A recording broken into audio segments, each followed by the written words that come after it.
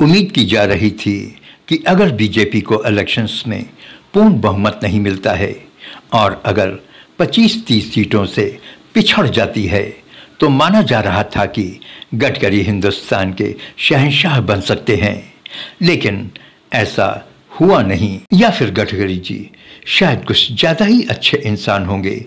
पूरी महाराष्ट्र लॉबी उनके पीछे थी। इंडिया गठबंधन से भी कितनों ने ही उनको सपोर्ट किया होता। वोटिंग के रुख से ऐसा लग रहा था कि भारत एक चेंज चाहता है और गडकरी एक अच्छे ऑप्शन हो सकते थे। ऐसा नहीं होने के कई कारण हो सकते हैं। शायद गडकरी प्रधानमंत्री बनने का रिस्क नहीं लेना चाहते रहे हों। अब जो खतरों से खेलेगा और आई हुई अपॉर्चुनिटीज़ को अवेल करेगा वही तो सिकंदर बनेगा। लेकिन सब अटकलों को पार करते हुए मोदी जी ने एनडीए के घटक दलों के साथ मिलकर सरकार बना ली है। लेकिन क्या ये सरकार चलेगी? सभी छोटे सहयोगी दलों की अपनी अपनी डिमांड है। जिसको पूरा करना इतना आसान नहीं। अब टीडीपी को ही ले लीजिए। उन्हें स्पीकर की कुर्सी चाहिए थी, जो उन्हें मिली नहीं। बेचारे नीतीश जी को सिर्फ़ एक कैबिनेट की बर्थ मिल पाई है। जबकि वो उम्मीद कर रहे थे कि उनकी पार्टी को कम से कम चार कैबिनेट मिनिस्टर्स की जगह मिल जाएगी। बेचारे, मोदी जी के आगे आधे से ज़्यादा झुक गए थे, लेकिन फ़ायदा नहीं हुआ। ऐसे में वो और टीडीपी कब तक मोदी जी का सपोर्ट करेंगे, ये देखना होगा। लेकिन हाल में आरएसएस में जो उथल पुथल हो रही है, वो भी किसी से छिपी नहीं है। ऐसा लगता है कि बीजेपी ने आरएसएस को सिरे से इग्नोर कर दिया है। बीजेपी बगैर आरएस के चलती नहीं थी। ऐसा आज तक देखने को नहीं मिला। क्या आरएसएस बीजेपी के इस इग्नोरेंट एटीट्यूड को बर्दाश्त कर पाएगी? लगता तो नहीं। ऐसा हुआ नहीं कि भागवत कभी योगी से गोरखपुर मिलने गए हों। अभी तक योगी ही भागवत जी के पास जाते रहे हैं।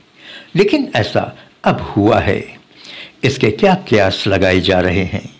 आप भली भांति समझ सकते हैं। क्या ऐसे में समझा जाए कि योगी के सिर हिंदुस्तान का ताज आने वाला है? अगर ऐसा है तो शायद इसमें कोई बुराई नज़र नहीं आती है। हाँ योगी जी को थोड़ा ठाकुरवाद छोड़ना होगा। इलेक्शंस में भाजपा 240 सीटों पर ही सिमट गई, जो मोहन भागवत को थोड़ा भी रास नहीं आया। उन्होंने कहा, जो मर्यादा का पालन करते हुए काम करता है, गर्व करता है, लेकिन अहंकार नहीं करता है, वही सही मानों में सेवक कहलाने का अधिकारी है। मोहन भागवत ही नहीं, संघ के कई उच्च पदाधिकारियों ने भी बीजेपी की आलोचना की है। बीजेपी के राष्ट्रीय अध्यक्ष नड्डा ने इंडियन एक्सप्रेस से कहा कि बीजेपी को अब संघ की ज़रूरत नहीं है। ऐसे में संघ की तरफ़ से आलोचना तो होनी ही थी। ऐसे में संघ को ठेस लगना लाजमी था। इलेक्शन के अभी कुछ ही चरण गुजरे थे। नड्डा का बयान आया। संघ को कुछ अच्छा नहीं लगा। और भागवत जी अपने चहेते योगी से मिलने गोरखपुर पहुँच गए। क्या बीजेपी और संघ के बीच कोई तनाव, कोई संघर्ष चल रहा है? देखते जाइए, आगे क्या क्या होता है। अपने विचार कमेंट बॉक्स में ज़रूर दें। धन्यवाद। जाते जाते चैनल को सब्सक्राइब भी करते जाएँ।